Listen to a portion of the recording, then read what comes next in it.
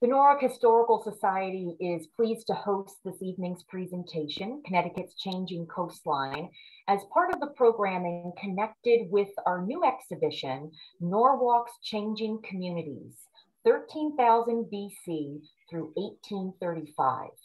Uh, this, ex this exhibition was funded in part by grants from Connecticut Humanities and the City of Norwalk Historical Commission. Now, our guest presenter tonight is Patrick J. Lynch. Patrick Lynch is an author, illustrator, photographer, and artist.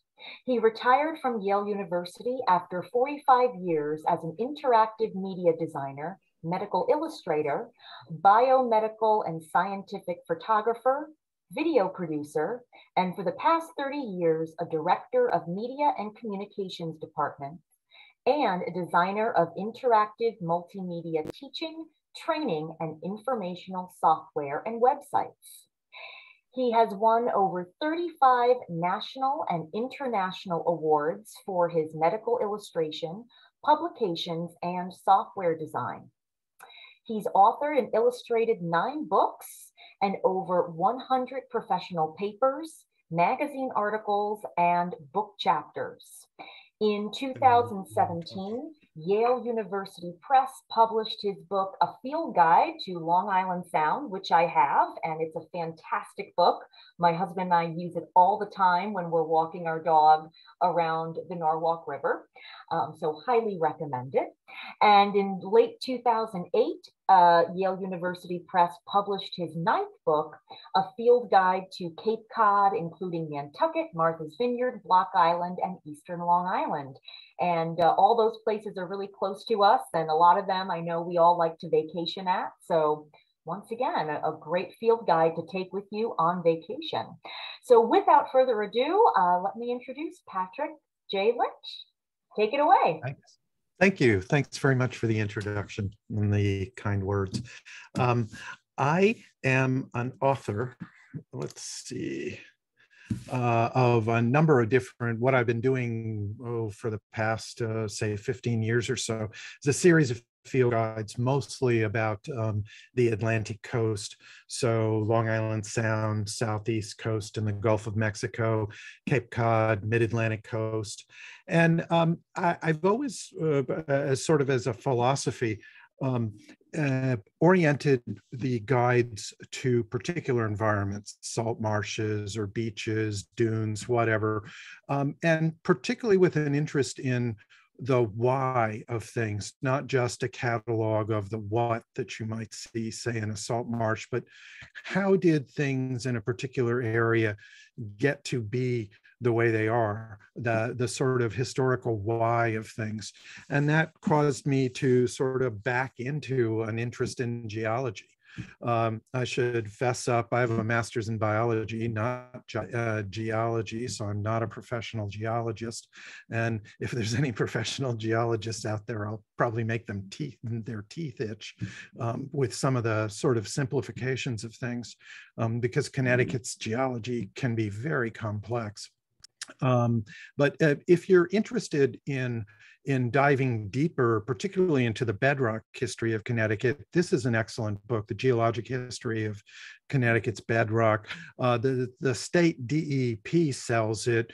It's, um, it's hardly a book. It's more, more of a very thick uh, color pamphlet, uh, but it's excellent in going over in reasonably plain English the almost 1 billion year history of Connecticut's rocks.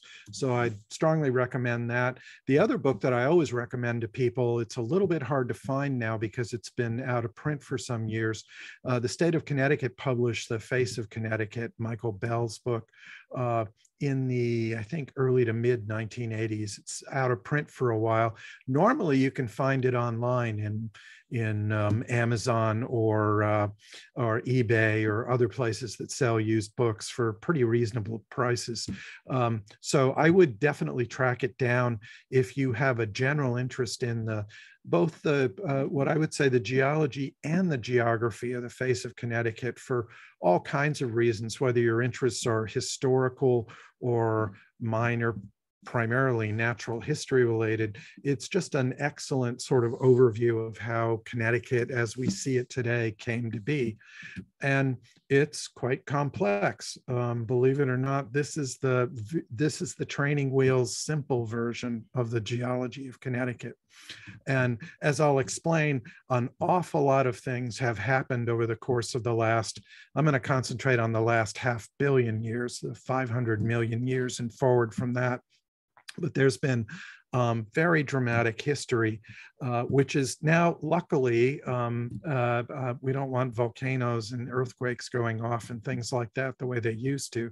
So we've been pretty quiet for the last, oh, say, 100 million years or so. So you don't need to worry about disasters. But uh, our history in the deep past was quite complex. And you can see that now in many places. This is a road cut on Route 9 in the Higganum area where there's been so much crunching and folding and things. You actually see these double arcs of you know um, hard rock behaving like toothpaste under all the all the dramatic events in the past but luckily they are mostly behind us now in modern geology is almost entirely based on uh, the plate tectonics theory understanding that the earth has relatively stable in the long term plates of rock which float like a crust off the um, over the surface of the Earth's mantle, which is much more pliable and and these plates move around almost like bumper cars. And as we'll see, um, Connecticut's been bumped into several times, or the territory that later became Connecticut. So plate tectonics is, is the foundation for a lot of modern geology. And uh, based on the notion that continents move around, bump into each other, get pulled apart from each other, um, this is how Connecticut came to be. You can see these, what geologists call terrane. A terrane is a large area that shares general similarities in bedrock. So there's a number of different terranes which make up Connecticut and New England. And this is a quick and highly simplified explanation of how they came to be. Proto North America is the plate that later became North America. This cross section of the ocean is what you, you, see the red line here. The ocean here is not the Atlantic. This was hundreds of millions of years before the Atlantic even existed, as I'll explain. And uh, so Connecticut's um, bedrock is partly um, originated in this proto-North American plate uh, partly originated, if you can believe it, in uh, the African plate, which used to be bumped up right against us. Uh, 250 million years ago, you could walk to North Africa from uh, what later became Connecticut. And in this ocean in between, there were island arcs of volcanic islands. Uh, usually you hear Avalonia, the larger, more substantial of the arcs, de uh, described as a Japan-like chain of islands, um, oceanic islands. The Bronson chain was also volcanic, smaller, and came to uh, uh, eventually represent a long arc of unique geology through um, not just Connecticut, but goes all the way up into northern Maine, et cetera. And uh, at this time, 500 million years ago, the ocean was called the Iapetus Ocean.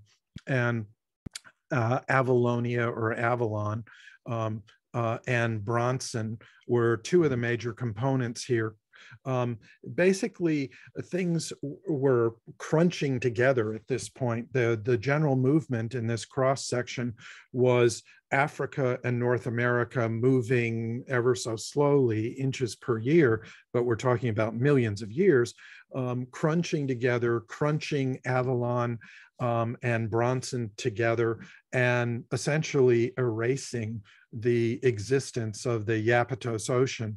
But um, not erasing the bedrock oceanic crust underneath it, which, um, as you can see in this light green color, um, uh, uh, still dominates in terms of the rock uh, uh, origins of a lot of New England here. So that was half a billion years ago. Uh, this is a, a three-dimensional view of the same sort of thing, the proto-North American plate. We had ancient um, carbonate banks and coral reefs off the surface of uh, what was then as I say, sort of proto North America uh, um, uh, 500 million years ago, those become important um, uh, later on because um, mostly New England's rocks are quite acidic. Um, uh, that's the origin of all this stuff. Um, on the western part of Connecticut, in the uplands of, of that area, we have marbles and limestones, which have unique plants and animals in them, which really um, uh, uh, um, help increase our diversity in our little state uh, quite a bit. Um, so it's worth remembering those. This is where that marble and limestone came from. They're mostly ancient coral reefs. So you, here you can see the volcanic uh, Bolton Range, the much larger Avalon uh, island chain, sort of Japan-like. Um, and the Iapetus Ocean is being crushed uh, together from this this arc across the illustration here is represents about a thousand miles. Um, consider when you look at these complicated um, geologic maps of Connecticut that what was a thousand miles wide got crunched down to about a hundred miles wide. So that gives you some idea of the drama involved. And as the Iapetus Ocean was being squeezed out of existence, uh, it slid underneath part of um, the uh, Bolton chain, and that's where the volcanoes come from. Avalon is very, very much older. These rocks, if you can believe it, are 800, 700 million years old. Uh, uh, so very, very old um, volcanic rocks here. And the whole ocean is being squished together to the point where 250 million years ago, the ocean's gone. It's been squished out.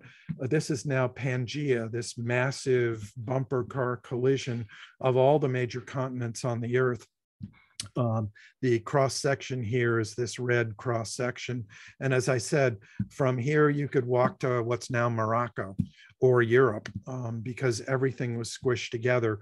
And that's how all of these complex things that used to be out in the ocean, including the Iapetus Ocean uh, uh, crust underneath, were all jammed together in near the area that later became Connecticut. And uh, this is the present day, this very simplified cross section uh, of here. This is us in North America. We got most of what crunched together uh, from from those ocean things. So we've got uh, Iapetus terrane, the Bronson terrane, Avalonia or the Avalon terrane, and um, but Africa and Europe also have big chunks of stuff. Avalonia underlies a lot of England um, at this point. So so as things were pulled apart, um, some of it ended up on the other side of the ocean, and the Atlantic Ocean um, over the last hundred million years um, originated and and has been spreading these continents apart uh, ever since then. The Atlantic Ocean gets wider about one or two inches a year. It doesn't sound very impressive until you multiply by, say, 10 million, and then it starts to become impressive. And an awful lot of the dramatic geologic stuff that happened to us earlier is now happening in the mid Atlantic ridge, thankfully, well away from us. So um, we in Connecticut are now uh, what geologists call a trailing edge coast. Nothing's trying to crunch into us uh, things in general are moving away from us. And our geology for the last hundred million years or so has been dominated primarily by erosion. Um, and then the ice ages, which I'll talk about later, but mostly dominated by erosion. So uh, thankfully, all the drama is in our past. No volcanoes are going to go off or something like that although they were um, important in our past. So these are the terranes as you might see them today. Again, very simplified versions of them. Um, but in addition to the Iapetus terrane, the light green and the pinkish Avalon island chain that crunched into us and the rocks that originated there and the smaller Bronson um, volcanic chain, there is this big unique feature in the middle of the state and not just Connecticut, it goes all the way up into, oh, parts of the valley go all the way up past uh, White River Junction in Vermont and New Hampshire. So it's an extensive valley, but uh, it is not a river valley. Um, uh, the name I like for it is Central Valley of New England. Uh, um, many people call it the Connecticut Valley, uh, even though it goes way up past Connecticut. Um, but it's a rift valley, um, not a river valley. Um, so it's a rift valley that has a river in it, the Connecticut River. But the Connecticut River didn't create that valley, and I'll explain why that's important uh, a, a, bit later. Um, but here you see in yellow our rift valley. And a rift valley you could picture as a giant tension crack in the earth. As I said, when, when Pangea began to break up and the Atlantic Ocean began to form and Africa and Europe drifted off toward where they ended up today, uh, there was a lot of pulling and tension on the Earth's crust. And you can think of these valleys as giant cracks in the earth. That's what a rift valley is. There are faults on either side of it, and a block drops down, um, and that creates the, the rift valley. Um, you'll also notice in Connecticut, you can hardly not notice it, that our landscape from all those uh, collisions and crunching is fairly corrugated. As, uh, you know, you might say crunch the hood of a car or whatnot, it, it sort of accordion folds um, uh, under the pressure of crunching. And so, what do I mean by corrugations? Picture yourself driving on the Merritt Parkway from Greenwich, uh, heading, say, toward New Haven. And what are you doing? You're going up hills and down into valleys and up hills and down into valleys, you know, over and over again, uh, a couple of dozen times by the time you reach New Haven. And what you're doing is driving over those ancient corrugations, that crunching uh, of the geology that is still uh, a part of the bedrock geology. The corrugations are mostly north-south, not perfectly because this is the real world, but mostly north-south. And those were very important for uh, um, the first peoples, the Native Americans, in terms of their ability to travel. The rivers run in them, the Quinnipiac, the Housatonic, the Connecticut, of course, et cetera, uh, run roughly um, uh, north-south with some important exceptions, um, which I'll talk about. And um, and early colonial settlement, um, settlement, the same thing. There were no roads back in the 1600s, and the rivers were the roads. The rivers followed these north-south corrugations, and and so it made it a lot easier for to to settle um, uh, New England for the for the Europeans who came as I said, our Central Valley, um, big as it is, is not a river valley. It's a valley with a river in it. And um, this is how a rift valley forms. As I said, picture it uh, like a sheet cake, uh, like a birthday cake, no frosting. And you grab one end and you grab the other end and you pull. And what's going to happen? There eventually, as the tension increases, there are going to be cracks. And um, that's basically on a much, much more massive scale how rift valleys form. And uh, there usually end up being faults on either side, these weak points where the crack develops. And then the rift valley uh, drops down, um, uh, essentially filling the giant crack there. So that's the simple explanation of how rift valleys form. Probably the most famous rift valley right now in modern times is East Africa's Rift Valley, which is, if you can believe it, about 100 million years younger than, than uh, the Central Valley of, uh, in Connecticut. Uh, so it's much more rugged. Um, but that's because it's young our Rift Valley in Connecticut had mountains on either side of it at least as big as the Alps. So that's something to consider when you when I talk about erosion. We have the eroded stumps of what used to be very dramatic mountain chains on either side of the Connecticut Central Valley. Um, and you can get a taste of that by looking at, at the very much younger Rift Valley in East Africa with these steep sides and things. Now, um, say 50 million years on, it's going to be a much more gentle valley uh, um, if, if erosion proceeds and there are no more dramatic events here, um, as, as was the case in ours uh, um, uh, Rift Valley. So there's the Connecticut Valley, also called the Central Valley of, of New England, the Newark Basin, Gettysburg. All of these are, you could think of as Pangea pulled apart and the space got filled by the Atlantic Ocean. Europe drifted away, Africa drifted away. These are giant tension cracks in the earth. These are best known because they are on dry land.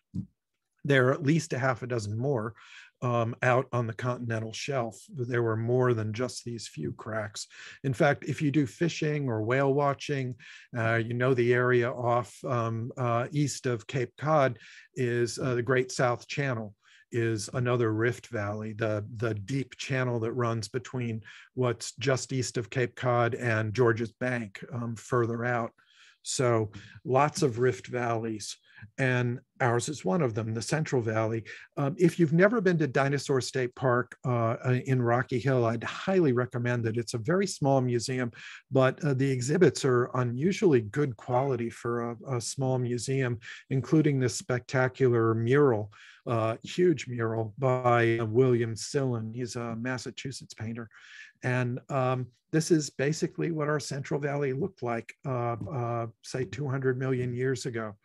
And it's important, and I'll explain and show you some maps in a second, to realize that uh, if you could somehow be here um, at the time uh, that, that's depicted here, this was not like Rocky Hill but with dinosaurs. It was um, uh, an almost unimaginably strange place that probably only a geologist would recognize as being related to Connecticut as we know it. Um, as I say, these mountains have already eroded down quite a bit, but they're much more dramatic than anything we see in Connecticut today. this, this would be the eastern side of the Rift Valley. Uh, it also looks very tropical because it was very tropical. Um, the continental plates don't just slide around like bumper cars and bump into each other. They slide over the globe.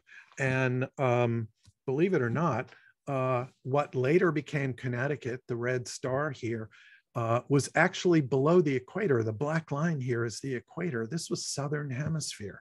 As I said, it was almost unimaginably strange. This valley was hundreds of miles from the nearest ocean. Uh, and it was dry tropical, meaning uh, we can tell from the way sediments um, uh, eroded down that it was dry for part of the year and then very had a very wet, rainy season.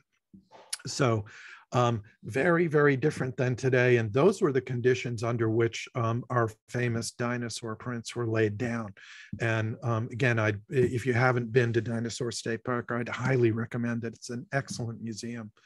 Um, sometimes you hear people say it's a sort of a, a, a regional sort of urban myth that sometime in the distant past that the Connecticut River actually ran to New Haven and not out to Old Saybrook the way it does now. It does this funny dog leg, which we'll talk about in a little bit, uh, out of the Central Valley. And um, it, it's logical enough. The, the valley runs north south, New Haven's at the bottom, say White River Junction's at the top. Uh, why doesn't the river go that way? Well, because in addition to all the eroded sediments that fill the valley now, there were in the distant past oh, say 170, 180 million years ago, a series of very dramatic uh, volcanic eruptions, which periodically filled the valley with lava and created um, huge uh, bubbles of lava underneath uh, what was then the ground level. Sometimes um, uh, came out at ground level. And if you can believe a, a, highly, highly liquid form of lava, almost like what you would see sort of in, in some of the Hawaiian Islands, would just spread out across the landscape. Must have been absolutely devastating and formed large horizontal plates of rock which then because of erosion we're talking about you know many many millions of years of uh, passing even between this uh, the uh, volcanic eruptions uh, reburied these things but um, uh, there have been you know um, since then 100 million years at least of further uh, erosion not just filling the valley again, but also taking a lot of this uh, valley material and, and washing it away, exposing these huge bubbles of magma that were originally under the surface and are now very much above the surface. And we know them all as familiar landmarks, West Rock, East Rock, Sleeping Giant, the hanging hills of Meriden is this big clot of things here uh, oh, the Heublein Tower that you can see sometimes when you're landing at Bradley, or maybe you visited there, sits on the Metacomet Ridge, which goes all the way up well into Massachusetts and the Holyoke area and stuff. So um, big magma intrusions here. And this is the reason why the Connecticut River could not possibly have ever gone down to New Haven. Picture yourself driving on I 91 here. You pass Meriden and you go up uh, a very large uh, uh, hill going up steadily up to the top. There's a truck stop, rest stop up there if you're heading north. Uh, Mount Higby, a huge uh, trap rock uh, basalt um, ridge is above you on the right and you go up hundreds of feet, even from the elevation of, of um, Meriden, and then you go down uh, a long slope of three or four miles, uh, which used to be notorious. I haven't seen them lately. Um, the Connecticut State Police would catch people going down. You go down this long slope for three or four miles, and you're going fast. So they'd put speed traps down there. And that's the reason you've just driven over the reason why the Connecticut River could never have gone to New Haven um, because a river can't go up several hundred feet. It's got to go somewhere else. And we'll talk a bit about um, uh, uh, the river later. But anyway, these trap rock ridges, um, they're also called uh, basalt ridges uh, um, geologists call them diabase basalt, particularly when the diabase is, is still buried. There were these big bubbles of magma that uh, originally, back in ancient times, 200, 170 million years ago, were buried by all this millions of years of erosion coming off these Alp-like mountains, which eroded uh, away now to what's just sort of stumps of, of their original size now um, filling the valley with what later became brownstone.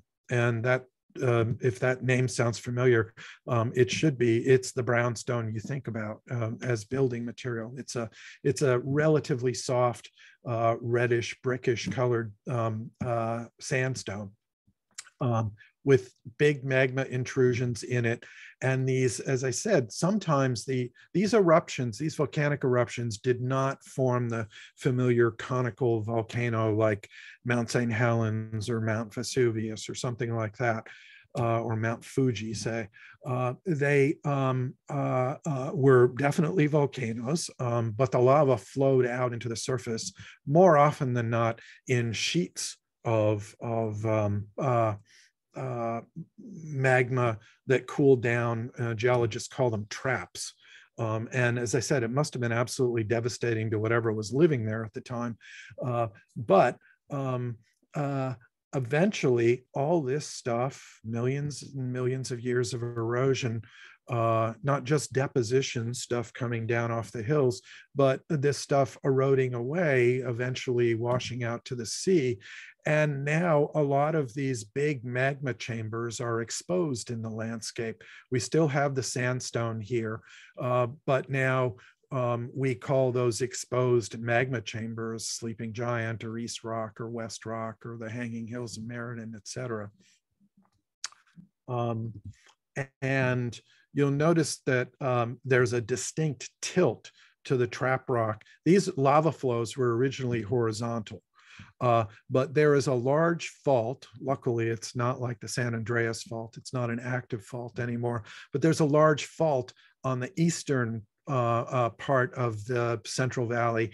And so things have slipped down on that side. And that's why our landscape very often looks tilted. Um, if you look at these large, um, like the Metacomet Ridge or East Rock, West Rock, uh, the Hanging Hills of Meriden, they all have a very distinctly tilted sort of look to them with um, a hard face, usually on the western side, and a much more gentle slope on the eastern. And that's because of this eastern border fault and the slipping that's going on there. And there are places in the landscape where you can actually see that slipping.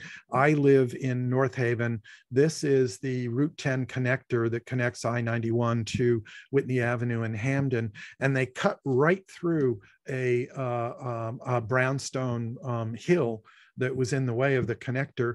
And here you can see exposed um, the natural brownstone beds, and you can see the downward eastern tilt of the beds right across the valley. And as I said, it's the same brownstone. If it sounds familiar, that's it. A lot of this stuff was quarried from Connecticut or from the Newark Basin, um, uh, which is filled with the same sort of um, ancient uh, sandstone uh, we call brownstone. There's a geologic sort of truth that what's hard is up high in the landscape and what's soft is below.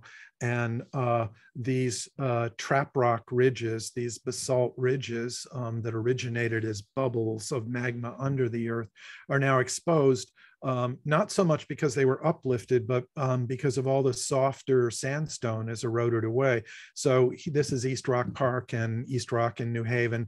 And the Mill River here is running over those softer sandstones that have eroded away, leaving these um, huge trap rock ridges um, here. And as I say, they have a very distinctive asymmetric sort of profile, and they're important uh, biologically in Connecticut uh, because um, they support a very unique um, habitat in them. They are higher and drier, uh, very much uh, more exposed in the wintertime, but very much warmer and drier than usual in the summertime. And so the things that live on them um, are, are unique. It's, it's a unique habitat that, that we have in Connecticut and, and Southern Massachusetts that you don't see elsewhere in New England. And again, this is was an ancient lava flow that was parallel to the ground and is now tilted because of that eastern border fault. And here's a photograph of West Rock in New Haven, classic profile.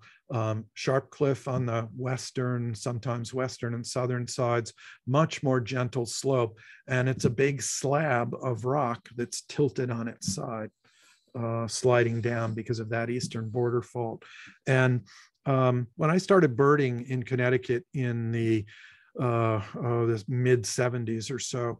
Um, peregrine falcons were extremely rare. You only saw them in maybe if you were very, very lucky in migration. DDT had a devastating effect on them.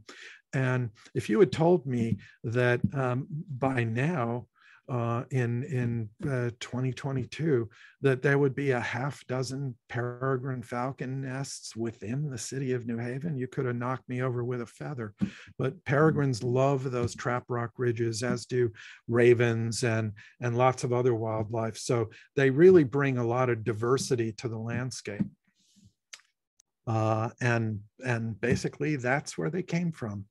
Um, so uh, the next major thing that that affected our landscape, and in fact, um, uh, probably even more so than a lot of the bedrock geology, affect things that people notice in our landscape today was the so-called ice age. And uh, for a real geologist, uh, you want to make them crazy, talk about the ice age because uh, a geologist would know that there have been dozens of ice ages, um, even in our local area. We have very little evidence of them because they tend to be very devastating uh, to whatever um, is on the ground before them. Anything softer than uh, granite bedrock um, tends to get scraped away. So, um, uh, but when people talk about the ice age from a geological point of view, what they're really talking about is the most recent one, which is called the Wisconsin Wisconsin or Wisconsin glacial episode that peaked about 25,000 years ago. And um, it's called the Wisconsin because most of the early work uh, uh, for people to understand that particular ice age was done in the Midwest. So Wisconsin. Peaked about 25,000 years ago. And it was a, a gigantic um, uh, a continental glacier that that's uh, ice sheet that spread across um, most of northern North America. Uh, it's called the Laurentide ice sheet. Um, and it's probably easier to, rather than think about glaciers and mountain glaciers that people are most familiar with today, think of what happened as a gigantic extension of the polar ice cap. Is It's like the North Pole and everything associated with it um, uh, uh, crept down over the landscape and covered up everything. And I do mean covered up everything. Uh, so this is what, um, say, back, say, between uh, roughly 50 to 25 million years ago, uh, the Connecticut area looked like, um, mostly dominated by that 100 million years of slow, quiet erosion. Um, uh, if you could have been in this area, uh, what you would have seen, particularly around us, um, uh, uh, uh, in this region uh, would have looked more like what you'd see in um, New Jersey or uh, the the central, um, say the Delmarva Peninsula, or um, anywhere on the East Coast, really south of New of New York Harbor. very large, broad, flat coastal plains of sediment. Um, uh, eroding off these ancient mountains. Um, uh, the Central Valley was there. And uh, what later became Long Island Sound was an ancient river valley. And that is typical of a lot of the features you see on the east coast of the US. Um, uh, the Gulf of Maine, uh, the, the um, uh, certainly Long Island Sound, the Gulf of Maine, um, Delaware Bay, Chesapeake Bay, they're all um, originated uh, at this time when the seas happened to be very much lower than today, probably about 400 feet lower than today back then, um, as river valleys. Oops, jumped forward a little bit. Um, and that's where uh, this valley that later became Long Island Sound came from. It was not near the ocean, it was inland. Uh, we can only speculate about the rivers and how they were flowing at that time, but probably there was some precursor of the Connecticut and the Quinnipiac and, and the Housatonic and whatever. Uh, a lot of this bedrock landscape hasn't changed that much. So there probably were, there were probably lakes in the valley as well, although we have only a little bit of evidence of exactly how big and where they were and then a big coastal plain. This is now all the um, uh, uh, submerged under the Atlantic now. It's the continental shelf. But um, sea levels have gone up and down even in the past 2 million years uh, sea levels have been as much as 250 feet higher than they are today and as much as 400 feet lower than they are today. So sea levels change all the time. Um, we've been unusually lucky in the past, say, thousand years that sea levels have been relatively stable. Uh, but, but uh, things are changing as we hear just about every day. So this is what the glaciers looked like when they got to our area. I put in for landmarks some of the um, major places uh, uh, just so you have some sort of orientation. Um, this line was the terminal uh, uh end of the glacier, the terminal moraine. Uh, uh, 25,000 years ago. The glacier could not get any further south because glaciers flow it's a slow motion kind of river of ice. Uh, they only flow in one direction. Glaciers never back up; they just melt away. And uh, when things got down to this level of what's now kind of the center backbone of Long Island, the rate of melting exactly matched the rate of forward movement in the glacier. And so there was a static standstill, um, geologists call it. And uh, that formed the backbone of Long Island. If you could have been where I am in North Haven or you are in Norwalk, um, up on the surface, it would have looked like central Greenland looks like today. Um, there would have been 5,000 feet of ice at least above us. Some areas in New England had as much as two miles thickness of ice above them. So no features, everything covered including the White Mountains and everything else, all were um, under ice at that point. So amazingly different uh, than today. And if you've never seen glaciers, um, they're ice, of course, but they're nothing like the ice cubes in your refrigerator. They are dirty and gritty and uh, my wife and I were um, hiking on Mount Rainier um, up above the tree line a few years back. And uh, this is one of the pictures I took of the several different glaciers there. This is a glacier. Um, this is uh, glacial ice. This is rock. Um, here's another glacier coming down off Mount Rainier here. And um, uh, it is there are places where you can see obviously that it's ice although very often they're covered with snow. This was in late summer so um, uh, snow had melted back a lot exposing the the raw glacier ice. And they're so full of rock and debris that it can be very hard at times to figure out what's ice and what's rock uh, because there's so much rock within the ice and they can they have so much grinding power they can take supposedly a boulder the size of a bus and reduce it to rock powder in a decade or two. Um, that's how much power they have moving across the landscape. Um, glaciers uh, flow um, as, as you know uh, slowly, but they flow in a very um, uh, liquid way, albeit with a um, much slower time base. And they tend to grind off virtually everything that's loose in the landscape and incorporate all of that, everything from house sized boulders down to uh, bits of fine silt and clay, um, all get incorporated into the glacial ice. Uh, partly a glacier moving across the landscape is sort of like a bulldozer. It will push any loose material uh, ahead of it. Um, and so that's one way that glaciers um, and uh, leave evidence of themselves there. Uh, there are bulldozed sorts of hills uh, that you see in the landscape. Uh, we call one of those bulldozed sorts of hills um, the base of Cape Cod, for example. Um, but mostly glaciers you could think of as gigantic conveyor belts. Uh, glaciers never flow in reverse. Um, they, they melt away when they go away. Uh, but as they reach a point where um, the melting rate is equal to the rate of glacier flow, all that rocky material that's in them gets dumped at the foot of the glacier here. And that's what's called a terminal moraine.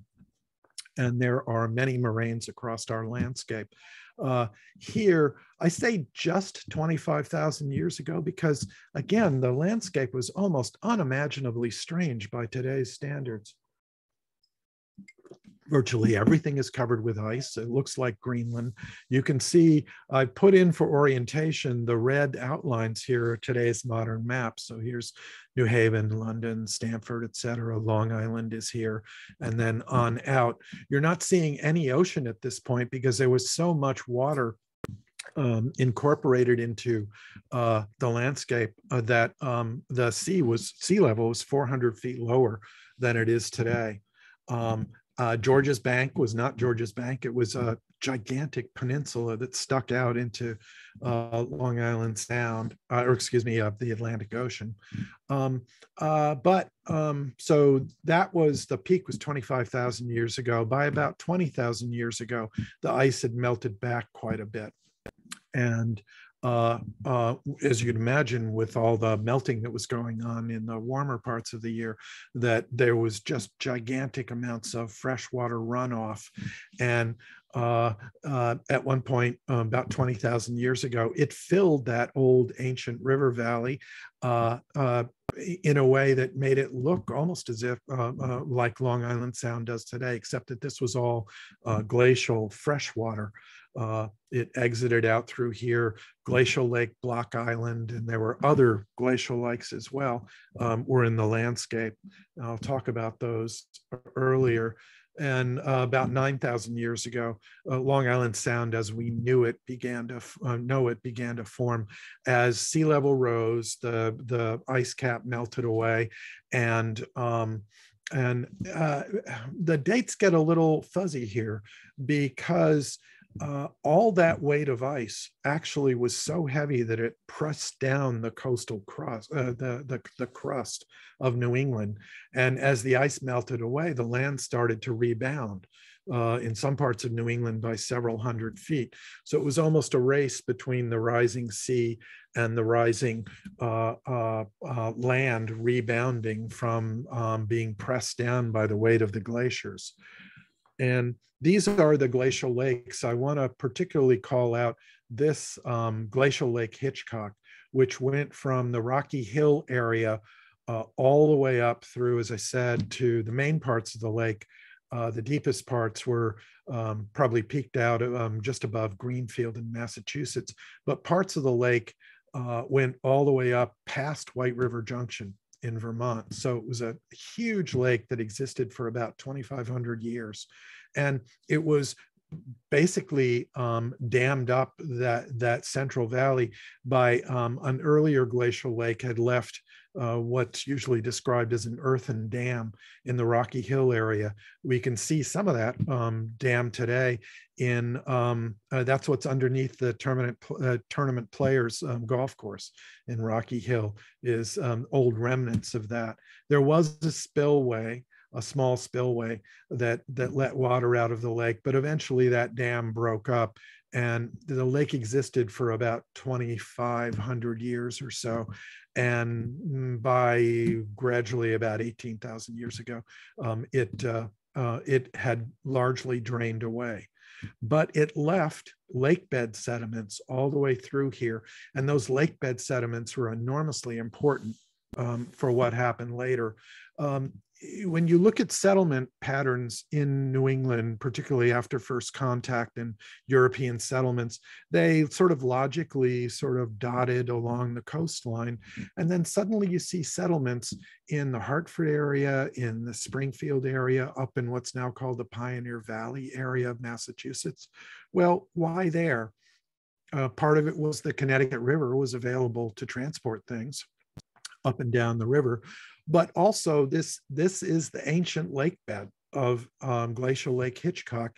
And unlike almost everywhere else in new england this is deep deep very rich soil that is largely stone free so that became the breadbasket, certainly of, of early colonial uh, North, uh, North America and the US, and, and it's still a major farming area today.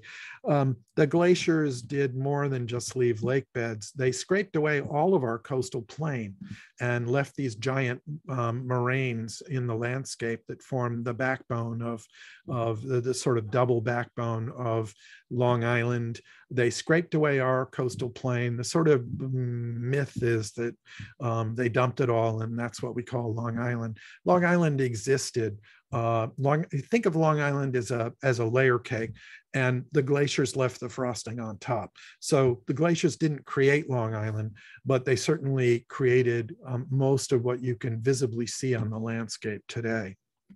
Um, they scraped away our coastal plain and all the sediments that went with it, but they left us in Connecticut in particular with lots and lots of small but very fine natural harbors. And those became very important for early settlement uh, uh, of the Connecticut coastline. We have um, unlike most of the Atlantic coast, we have excellent natural harbors um, all the way through here. These are the big regional moraines um, uh, uh, in the landscape that mark melting back points. This green um, area is uh, the maximum extent, the terminal moraine of the glacier. Uh, things melted back about, um, oh, say 4,000 years or so. And then for one reason or another, the climate cooled again and the melting stalled. And that's what created this Roanoke Point moraine and Harbor Hill moraine. When you look across Long Island Sound from, say, New Haven or anywhere east, and you see that long red row of cliffs, you're looking at the Roanoke Point moraine. And those moraines go all the way across New England and formed uh, a lot of coastal Rhode Island. Uh, the same moraine that created Montauk Point created Block Island and the highland areas of Martha's Vineyard and Nantucket. And that secondary um, recessional moraine created a lot of um, the highlands in uh, Cape Cod. And they left us with spectacular islands, which really increase our biodiversity and, and uh, recreational opportunities um, in the region. Our islands uh, in Long Island Sound are mostly glacial till islands. They're all the rubble that got swept off the landscape and um, got left in a series of moraines. Uh, so the Norwalk Island, Sheffield Island, and the Norwalks, the Captain Islands, um, uh, uh, um, and a number of, actually most of our islands in Long Island Sound are glacial till islands. Uh, but there are some, famously the Thimble Islands in Branford, which are bedrock islands. Um, they used to be the tops of hills that got drowned as the sea level rose, and now they're islands. Um, very, very different um, in terms of their habitat than the glacial till islands. Um, why don't we have beaches? So much stuff melted away, uh, ran off the uh, the landscape as the glaciers melted. So why don't we have um, more and better beaches? Say Cape Cod has great beaches, Rhode Island has great beaches, South Shore of Long Island. Why didn't we get that stuff? Well, um, we did sort of, but it all ran into Long Island Sound. Uh, so Long Island Sound, the average depth is about 63 feet now, which is very shallow for a body of water its size. It used to be quite a bit deeper, the valley that, that Long Island Sound fills, but now it's mostly full of all those glacial sediments that ran off Connecticut um, and didn't form beaches on their way to, uh, uh, to, to heading into Long Island Sound. So we don't have a lot of natural beaches in um, Connecticut, but the ones we do have are really important for wildlife, uh, such as Sandy Point that sticks out into New Haven Harbor. Uh, we do have decent beaches, small but decent beaches. It's say like uh, oh um, Hammonasset and Rocky Neck and and some of the beaches around. Um, uh, uh, Norwalk and and um, out in the New London area, but those are all uh, manufactured beaches. Um, nourished is what the, the term of art. Sand was brought in from somewhere else, and that's why you have nice beach sand there. Mostly, our uh, um, wild beaches are very much smaller and that's unfortunate for beach nesting birds because the the um, the degree to which uh, the Connecticut coast in particular is developed has left just a fraction of one percent of uh, our coastal mileage available to things like um, piping plovers and least terns. So please, please, if you're out on a beach and you see nesting areas roped off, uh, please respect that. Um, uh, let's leave these guys um, a fraction of the 1% that they have now, because that's all they have left. So um, try to bash through this very quickly. What does climate change look like? If you were to go out say, you know, you hear about it in the news every day now. So, what does it really look like in Connecticut? Well, this is um, the Barn Island area in Stonington, and uh, it's a beautiful day and a beautiful place, but you're actually looking at a tragedy here.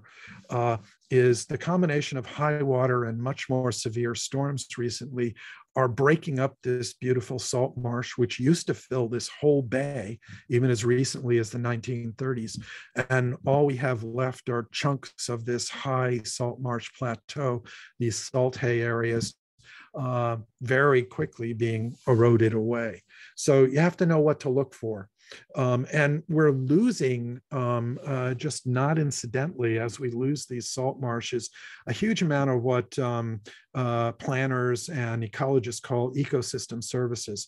For example, this is the salt marsh behind Sandy Point in West Haven, which really saved West Haven. In, in West Haven would have been devastated by Hurricane Sandy, Superstorm Sandy, uh, because of the way the winds came in and across New Haven Harbor.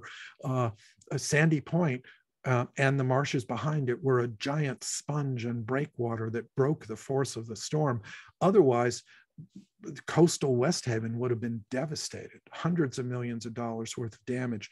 So, aside from wildlife habitat and, and recreational um, opportunities, uh, we're losing important parts of our buffer against climate change And unfortunately, a lot of the things that live in those marshes, like the salt marsh sparrow here, which nests in these high salt marsh habitats, which are very, very vulnerable to even millimeters of sea level rise, um, are having a hard time now. Salt marsh sparrows need to, uh, because they nest in these marshes, which flood um, uh, twice every, uh, every month in the normal spring tide, neap tide um, cycle, they've got to lay their eggs hatch their chicks, and the chicks have to be old enough to be able to climb up grass stems in basically about three and a half weeks.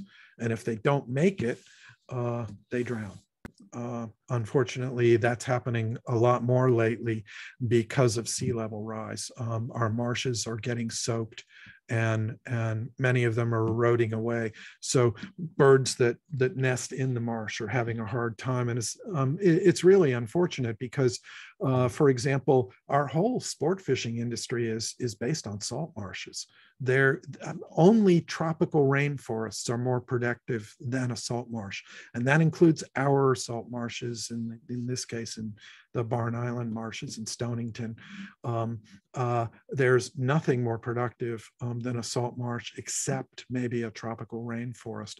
And all that uh, nutritive value goes into the sound and supports, among other things, virtually all of our food fish and sport fish. Um, and of course, as I said, they act as natural buffers against storms. Um, uh, sea level rise has been happening for 25,000 years um, the the sea level is now two feet higher than it was in colonial times, and you see these odd, uh, um, uh, odd artifacts. Uh, say this is the marshes, some of the marshes in in Stonington, in the Barn Island area, and there's old farm field um, walls in the middle of a salt marsh. Why would anyone do that sort of thing? Well, when these walls were built, these were cornfields and wheat fields in the early 1800s and uh, or, or earlier.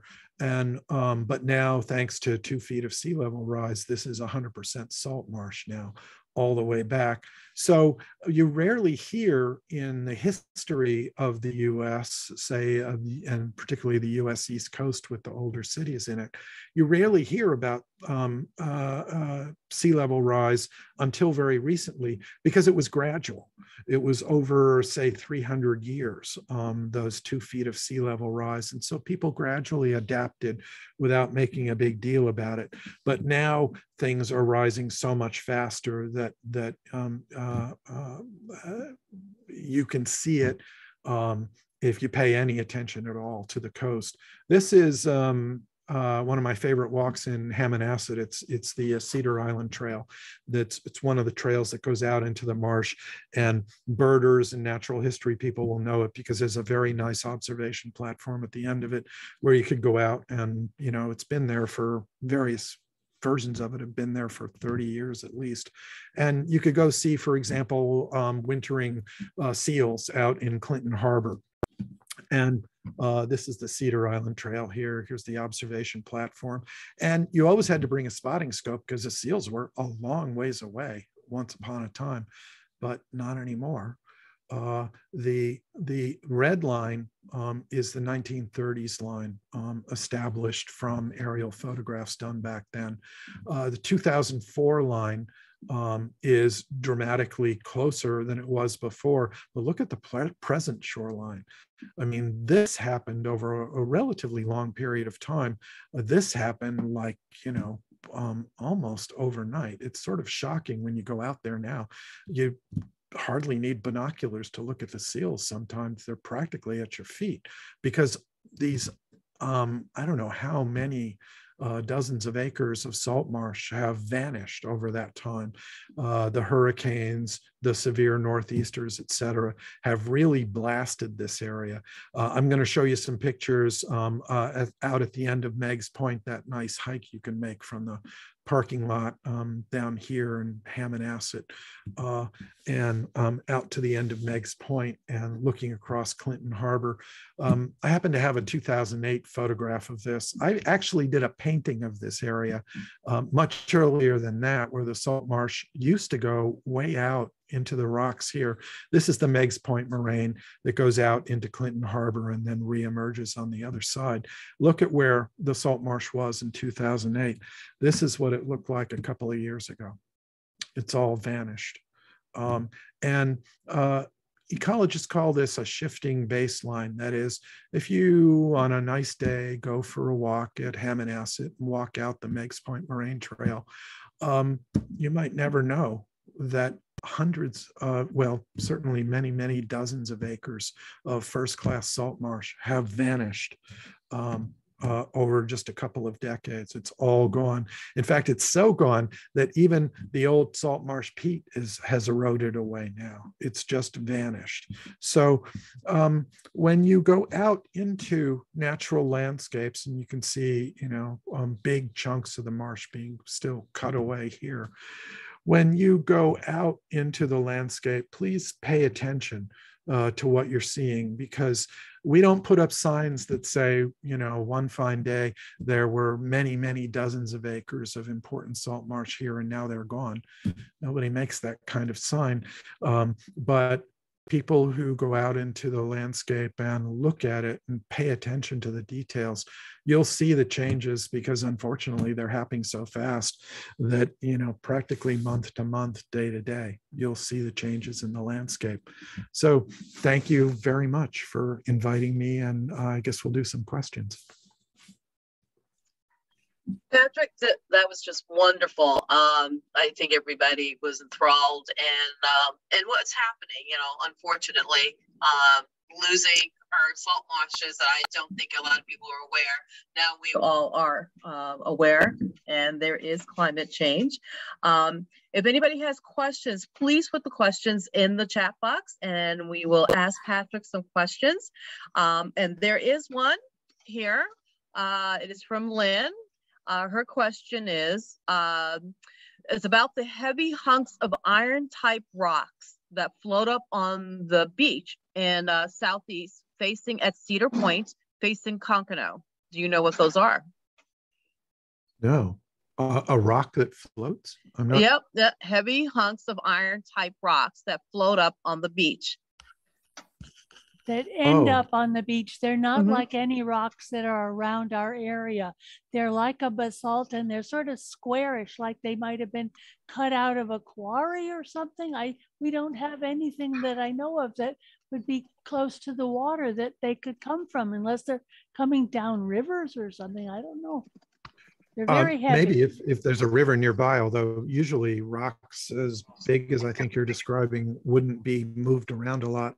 Um, so a lot of the rocks in Connecticut, certainly the um, the reason why, uh, for example, our uh, trap rock ridges are, are all bright red is not because trap rock is bright red. It's actually a dark gray, but it has a lot of iron in it. Um, and as you know, uh, the iron rusts and, and creates that red color.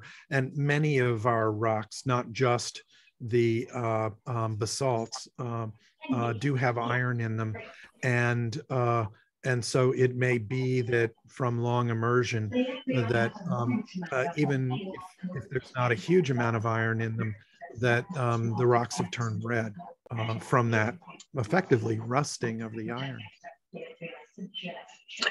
Uh, someone had a suggestion maybe that lynn's floating rock might be coal?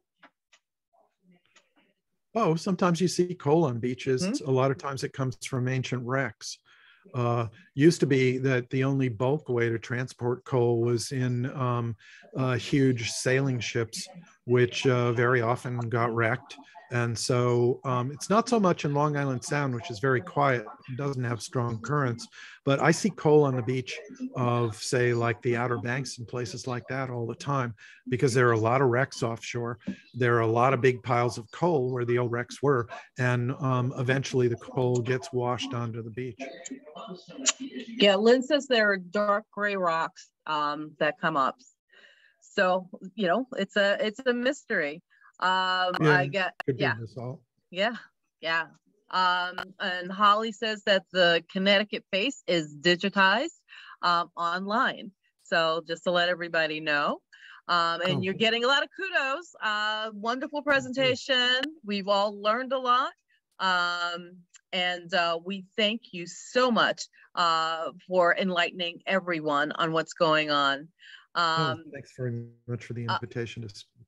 Yes. Oh, there's one more. There's a question here um, from Jeff uh, regarding the sea level rise. How long is the historical record provided by the Bridgeport Harbor uh, tide gauge? I don't know right offhand, um, uh, but we do have fairly good records that go back at least through the 20th century. Uh, uh, whether they're detailed enough, it, it, sea level rise is very tricky. Um, and it's only been recently that we've been able to, through modern LIDAR and other kinds of specialized uh, satellite sensing technologies, if you can believe it, um, it, it it's hard to know, um, even as recently as the 60s, 70s, and 80s, and you look at we've had good maps of the US for a long time. Um, the mm-hmm. USGS has, but it never mattered so much um, exactly what the elevations on the maps were as much as it does now, because suddenly just millimeters of change in the environment uh, uh, make a big difference. And so I, I'll bet that Bridgeport records go back way back, and mm-hmm. you can um, use historical structures also to sort of verify um, how much it may have changed, say, over the last 50 years or 100 years. But um, uh, exactly how high a particular structure in, say, Bridgeport or New Haven or whatever is, say, a historical structure that's been there for several hundred years, exactly how high it is above modern sea level, that's actually turns out to be a very complicated question that we've only um, recently had the technology to determine because only recently suddenly every hmm. millimeter of sea level rise makes a difference so in places like uh, say norfolk virginia where uh, that are you know actively flooding practically in every high tide mm-hmm. um, uh, it, it becomes a very interesting question of how high is high because um, say in a lot of the East Coast, that rebounding that I was talking about, where the uh, the ice pressed down and stuff. Well, the East Coast is sort of like a giant teeter totter. Our crust went down down in Virginia. Their crust went up. Uh, but the ice is gone now, and they've been losing altitude ever since. Mm-hmm. So every fraction of a millimeter matters when the sea is rising at you know about three to four millimeters uh, a year in that area. Uh, so um, how high is high turns out to be a, a really interesting question when every millimeter matters. Right and that goes it, it, this is a multi-part question. It says what does the record show? Um, does it show an accelerating rate of rise in, yes, in those records. Yes. Yes, absolutely. There's a sort of a dog leg, as there is in other client measurements, where um, things, as I said, for 25,000 years, the sea has been rising. So that's no big surprise, at least to geologists. What is the unpleasant surprise is that the rates have changed dramatically and are now very much faster than they used to be. Yes. And the other question, where is the data available uh, from other LIS uh, gauges? Oh, I'm not sure offhand. Um, uh, first places I would look for detailed information like that are uh, go to Save the Sound um, is a good place to start. The Save the Sound organization. They do lots of mostly water quality things, but you may find links to, to other things there. The state DEP uh, does lots of survey work in Long Island Sound and has what they call the Blue Plan now, a master mm-hmm. sort of planning yep. um, uh, document that they've assembled to help everybody who uses the sound from recreational fishers all the way to um, people driving oil barges um, you know need this kind of data from time to time. So uh, start with save the sound uh, start with the state connecticut state dep and, mm-hmm. uh, and go from there. Um, thank god for google. Exactly exactly. Um, here's another could you talk about how the race was formed Oh, mm-hmm. um, Interesting. Uh, well, uh, um, uh, just the peculiarities of the bedrock in that particular area um, is the first place to start. So just happenstance, that happened to be a pinching down of that ancient river valley in that area. But um, most, uh, most approximately say over the last few thousand years, it was that, um, uh, that line of moraines that formed Orient Point and Fisher's Island and stuff that um, uh, uh, uh, left um, that glacial moraine there. And um, so uh, Orient Point, Fisher's Island, Great Gull Island, uh, uh, Gardiner's Island, they're all bits and pieces of moraine in that area. And for one reason or another, the deepest point along that moraine is where the race is. The race is like 300 feet deep. It's very deep um, and it goes all the way down to bedrock. Um, and that's the in and out point, the eastern in and out point um, where Long Island Sound meets Block Island Sound and the Atlantic Ocean. Wow. All right, here's another question. Uh, we in Connecticut have brown or dark colored earth usually, but Long Island is red clay like on the North Shore. Why? Oh, well, we have a fair amount of red clay too, but their red clay on the North Shore is that is that Harbor Point moraine um, uh, that that goes all the way out, forms um, the eroding North Shore. Um, those red cliffs that you can see when you look across Long Island Sound, that's the the Harbor Point um, uh, Roanoke moraine that goes all the way out and eventually forms um, Orient Point. That is all glacial till. It's dirt, rocks, and if, you, everything from giant boulders and whatnot. Um, probably if you dig down into it, it gets brownish mm-hmm. or grayish. But on the surface, because of the iron content, it turns red. So, ah. um, uh, uh, so um, uh, a, a, lot of our dirt is is not naturally red in color, uh, but because of the iron content, uh, becomes red when it's exposed on the surface. So That's all those cliffs, for example, in, in the North mm-hmm. Shore of Long Island are, are red because of essentially the rusting of the iron content in them.